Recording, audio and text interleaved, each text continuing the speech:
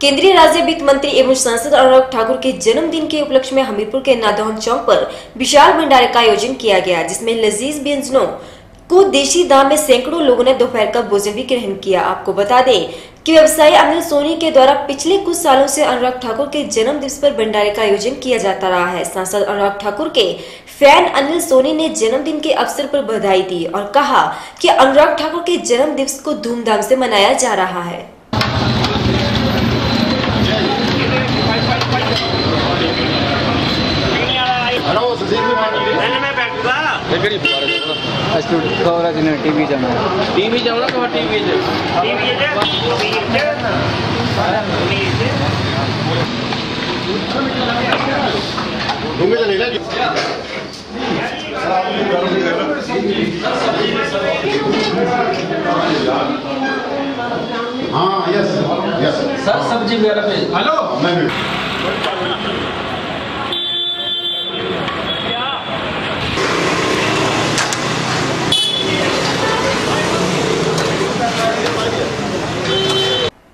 वक्त तो चला एक छोटे से ब्रेक का ये मिलते हैं ब्रेक के बाद।